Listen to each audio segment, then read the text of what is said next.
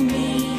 Why don't we see who is better? We don't have to be one in the same thing. Oh, what's so wrong with a little competition? Are you afraid of failing the audition?